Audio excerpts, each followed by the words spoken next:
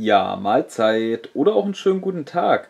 Heute gibt es ein weiteres Ranking-Video und zwar kommen wir zu den Sets aus dem Jahr 2009, zu der goldenen Lego Star Wars Zeit, also mit wirklich vielen richtig coolen Sets und von daher wird das auch ein interessantes Video.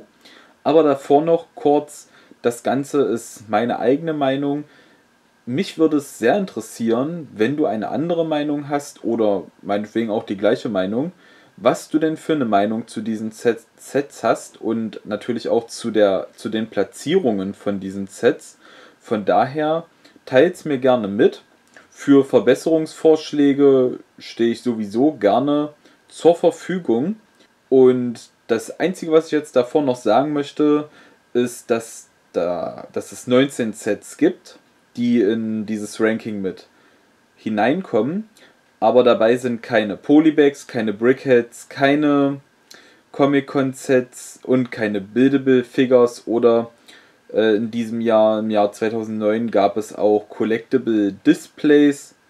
Das kommt alles nicht mit rein, sondern nur diese 19 Sets, die ich euch jetzt vorstellen werde. Fangen wir also an mit dem 19. Platz und das ist die 7778, der MIDI-Scale Falcon. Der ist für 40 Euro erschienen und ich weiß nicht, was die sich dabei gedacht haben. Also ein absolut schlechtes Set. Ein paar hundert Teile sind dabei, keine Minifiguren. Das ist nichts Halbes und nichts Ganzes. Äh, von daher letzter Platz. Auf Platz 18 ist die 7754 und zwar ähm, die Home One Mon Calamari Star Cruiser für 140 Euro erschienen. Ja, meine Güte, ist das teuer. Und ich weiß auch nicht so ganz, was dieses Set bewirken soll. Man hat dann einen kleinen Ausschnitt von einem oder einen kleinen Teil von einem Mon Calamari Kreuzer und dann ist da ein A-Wing drin aber dieses ganze Set sieht einfach nach überhaupt nichts aus. Und nicht falsch verstehen, ein Mon Calamari Kreuzer wäre ja mal absolut cool, wenn sie den als originales Lego Star Wars Set rausbringen würden. Da wäre ich sowas von dabei. Ich komme auf den 17. Platz zu sprechen und hier ist die 8037 Anakin's Y-Wing. Äh, es ist in Ordnung, so ein gelber Y-Wing aber wie schon im Ranking von 2007 erwähnt, ja, es gab jetzt so viele Y-Wings. Y-Wings sind einfach nichts Besonderes für mich mehr und deswegen ranke ich dieses Set auch nicht besser. Es geht weiter mit dem 16. Platz und auf dem 16. Platz ist die 7751 Ahsoka Starfighter für 47 Euro erschienen und es ist zwar der einzige Ahsoka Starfighter, der erschienen ist, deswegen ist es auch was Besonderes. Allerdings ist es mir zu viel Geld. 40 Euro hätten, wie ich finde, auch gereicht. Vor allem, weil da nur die Ahsoka-Figur dabei ist und die Figur von ihrem Droiden. Ansonsten sind da ja zusammengebaute Bass-Droiden dabei. Okay. Aber ist jetzt halt auch nichts Besonderes. Zum 15. Platz. Auf dem 15. Platz ist die 8015 das Assassin's Droid Battle Pack und das könnte für Diskussionen sorgen.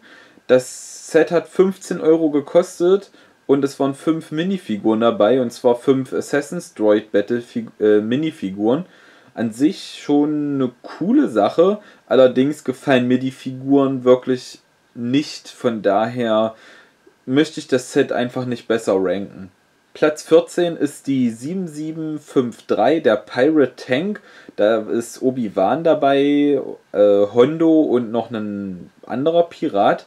Die Figuren finde ich cool und vor allem als Kind fand ich damals das Set auch richtig cool. Ähm, als Kind hätte ich das Set wahrscheinlich noch viel besser gerankt. Inzwischen finde ich es nicht mehr ganz so besonders. Aber der Preis von 40 Euro ist noch in Ordnung. Also wenn man das vergleicht mit dem Ahsoka Starfighter, wie gesagt, hätte ich auch 40 Euro angesetzt. Da ist das auf jeden Fall besser. Ich komme auf den 13. Platz zu sprechen und hier ist die 8016, der Hyena Droid Bomber Für 27 Euro erschienen, drei Jetpack-Droiden dabei. Ist eine coole Sache. Es gibt ja keine Sets mehr für 27 Euro, also die kosten ja dann jetzt alle 30. Also dieser Preisbereich, der ist wirklich in Ordnung, auch wenn es jetzt nur drei Figuren sind. Natürlich, man könnte immer noch eine schöne Figur mit dazu packen. Das wäre eigentlich bei Star Wars immer noch möglich. Und die Preise wären dann immer noch in Ordnung. Ich finde dieses Set halt einfach cool. Als Kind hatte ich damit viel Spaß.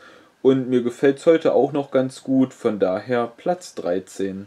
Wir kommen zum 12. Platz und da ist die 8036, das Separatist Shuttle für 37 Euro erschienen und mit einer, wie ich finde, unterschätzten Minifigur und zwar ist dort Newt Gangray dabei und dann noch so ein anderer Politiker.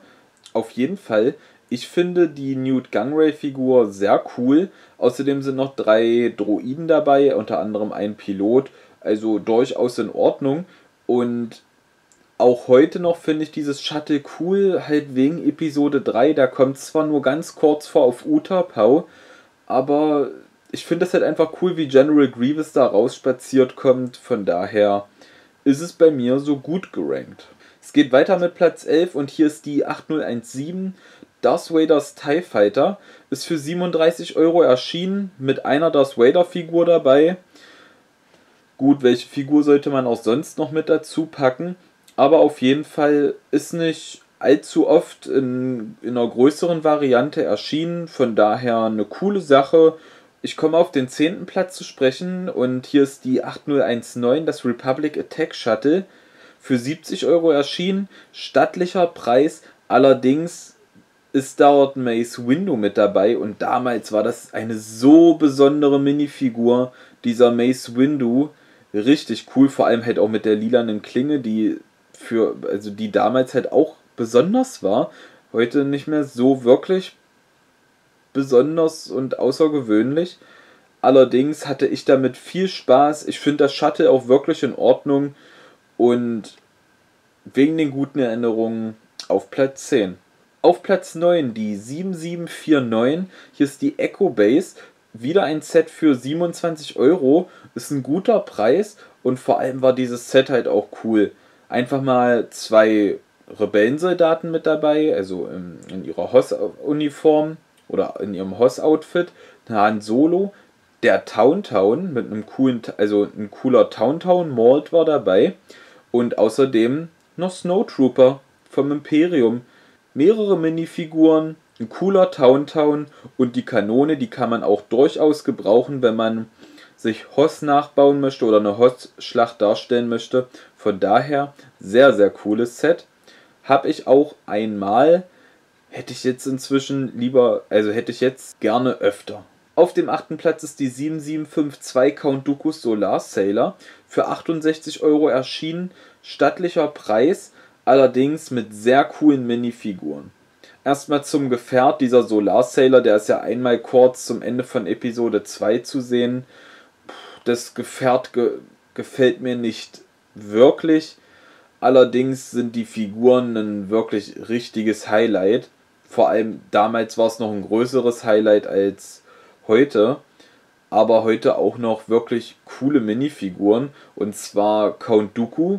Okay, der kam ja jetzt ein paar Mal vor, aber dennoch nicht allzu oft vertreten.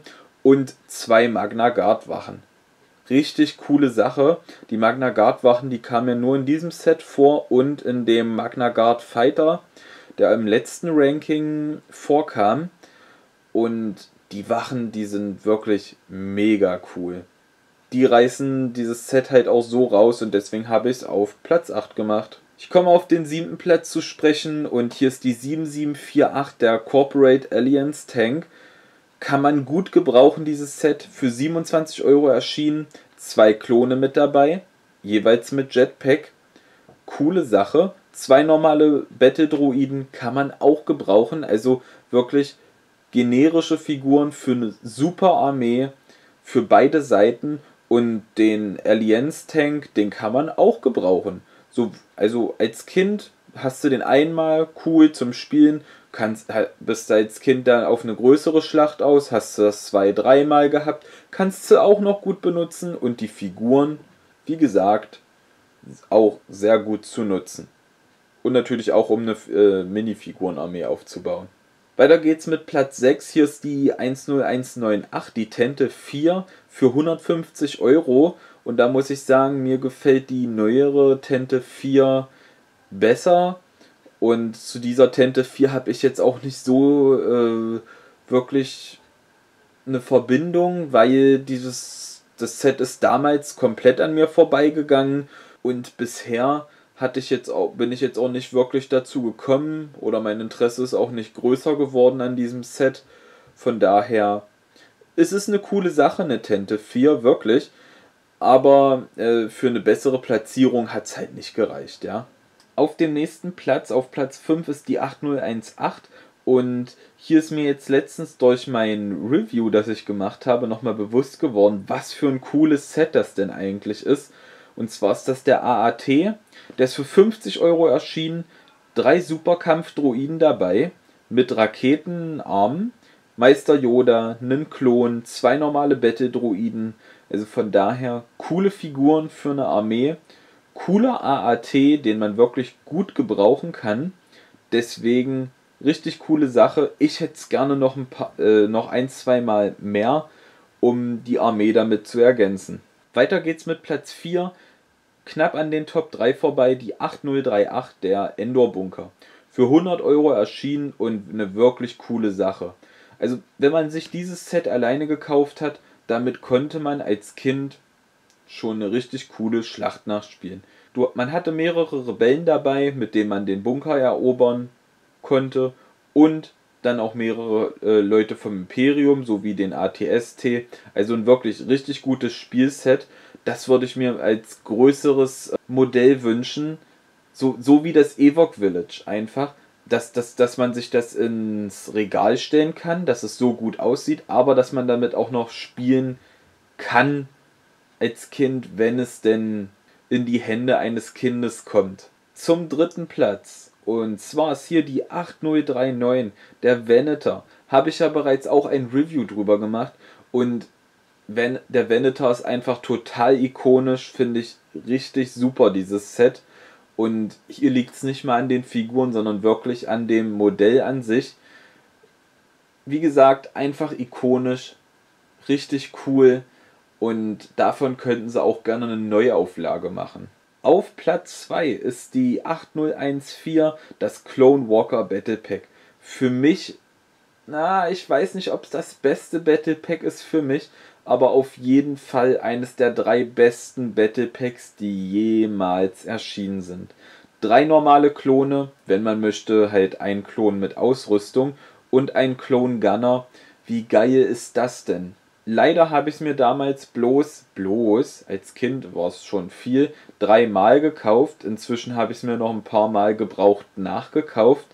Allerdings wäre es was wirklich richtig Besonderes, dieses Set neu und original verpackt zu haben und dann nicht nur einmal, sondern wirklich eine, eine ganze Fuhre voll damit ein paar zum Wegpacken, weil das Set ist wirklich teuer geworden. Also unter 45 Euro neu geht da nichts. Es sei denn, man hat richtig Glück.